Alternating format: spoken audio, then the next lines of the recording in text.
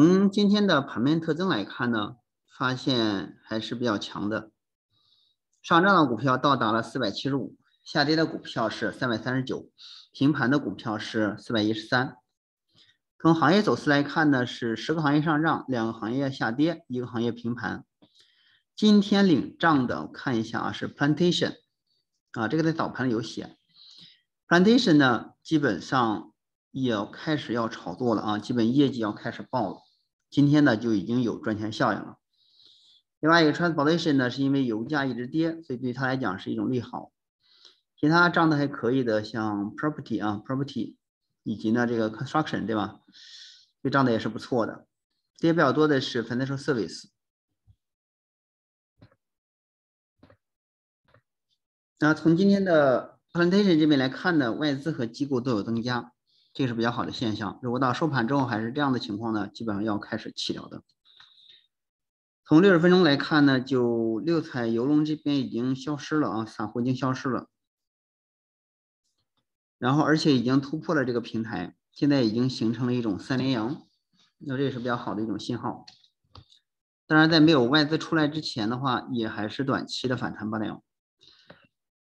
最终它要突破这个平台才能够接着再涨，否则的话还会继续震荡。Transportation 这边呢，今天涨幅也比较大，啊，资金一直在上涨，下边的外资也在持续增加，已经出现金叉，但是庄家还没有出现。原因在于说原油价格一直下降，对于他们来说，这个运输成本啊，这个生产这个经营成本有所降低。Property 这边呢，走了一个上升的第五浪，目前是第五浪，已经是第三天了。三天以后，如果说还能涨的话，那就是很好的事情了。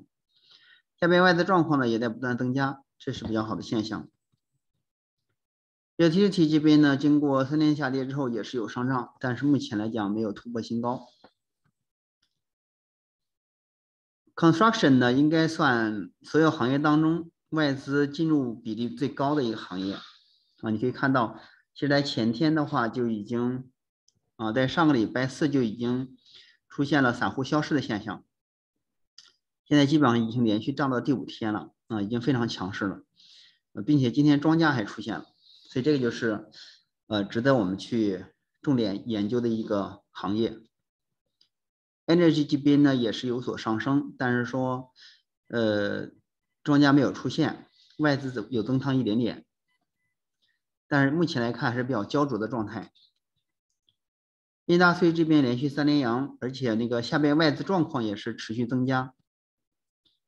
瑞斯这边最近表现比较强势，尤其是关于房地产的啊，你看建筑、房地产，然后呢这些瑞斯都是跟建筑相关的，所以说这三个行业都在起，说明什么呢？说明这个外资真的要回来了，是吧？那么因为大选的这个事情，所以说都在回归着。Consumer 这边呢，今天小幅上升，但是没有创出前面的新高。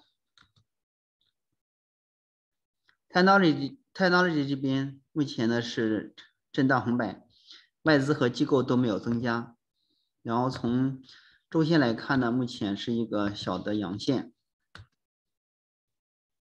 Telecommunication 呢就走弱了，下面外资有所减少。Healthcare 呢经过了。三周的上涨，以及呢，经过了三天的上涨，尤其是周五的时候呢，出现了急阳，所以今天容易调整。到目前为止，调整幅度不大，所以说整个上行趋势还可以的。下边的外资状况呢，略有减少。反正是 service 呢突破前期高点之后呢，今天有回撤，当然回撤的幅度不大，在没有回到在没有跌破前期高点附近这个位置的时候呢，是没有问题的。所以明天如果说阳线的话，就开始上攻了。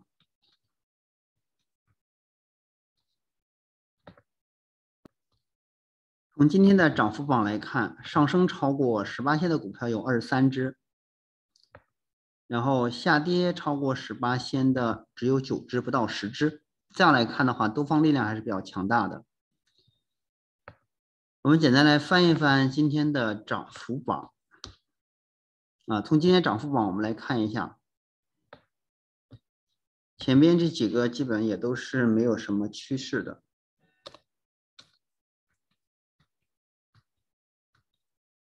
嗯，这个呢是零零六八，近期就是出现了一浪、二浪震荡很久啊，今天终于开始第三浪了。零零六零的话，近期走势一直很强势，那这个在前面有谈过它是吧？外资和机构一直在增仓，所以它今天已经突破了平台。零二四一呢也开始走第三浪了，前边呢是有三天的上涨，然后后边出现二浪的回撤，然后今天终于一口气突破了前期高点，并且外资和机构都有大幅增仓。七二三九呢，最近外资和机构一直进的也比较多，所以说它也比较强势。啊，九六六一啊，包括七九八呀，这些都表现还不错。零一五五的话，最近庄家比例啊，尤其是今天增仓比较明显。在经过了一一波暴跌之后，怎么样？做了一个这样的三浪的模式。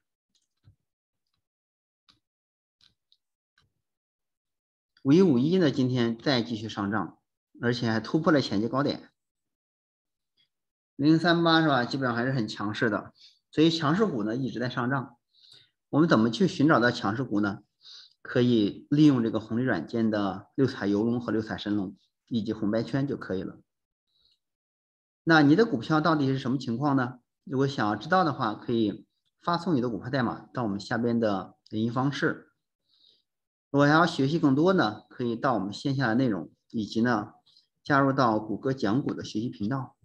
在这个频道里边呢，会有每天呢去简单的啊，就有一个早盘简评，会写刚才我们讲的东西呢，其实是在早盘就有写了的，而且会有什么重要信息的话，也会发在这边啊。比如今天呢，就刚刚刚我们说那个八个燃油罐起火，乌空袭。俄石油导致什么？IE IEA 宣布集体投放原油储储备，油价周周跌幅在十二八线，这种情况一定会影响这个油价，所以说你有油气股的话也是要小心的，对吧？想了解更多呢这种实战有用的啊，这种有营养有价值的信息的，可以加入到我们这个谷歌讲股的学习频道。想要加入的同学呢，可以点击我们下边的链接，可以轻松加入。还没有订阅我们的频道的朋友，订阅一下我们的频道，每天中午都有午盘点评。那我们明天再见。